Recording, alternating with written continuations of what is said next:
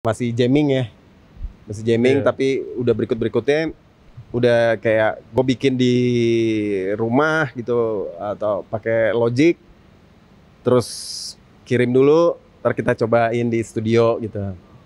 Ya, PM juga begitu gitu kasih kasih kerangkanya gitu. Terus ya udah udah udah udah cara yang berbeda karena kita juga udah punya punya apa ya punya edukasi baru nih untuk menciptakan lagu dengan cara ini ternyata ternyata bisa lebih lebih efisien gitu. Berarti lirik terakhir ya kalau kayak gitu ya? Lu.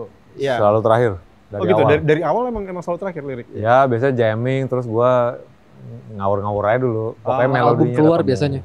Oke. Melo- melodinya ada dulu eh, pakai bahasa Inggris ngasal-ngasal. Begitu udah mau eh, rekaman baru gue tulis. Ah.